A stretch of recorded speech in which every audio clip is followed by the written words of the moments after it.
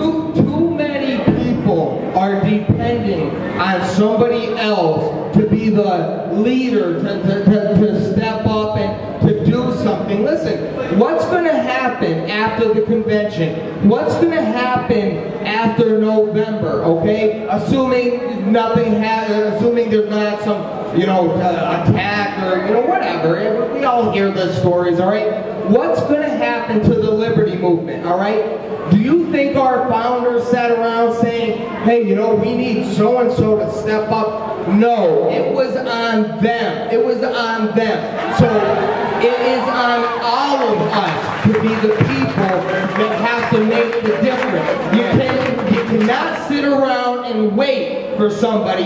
If you're if you're looking for a leader, you're going to get a master and you fucking deserve one. All right? It is not about looking for a leader. Every single one of you are supposed to be the leader. That's what the liberty movement is about. It's about liberty. It's about uh, self-reliance, self-dependence, and, and, and not looking for somebody to be your fucking savior. Right. You know?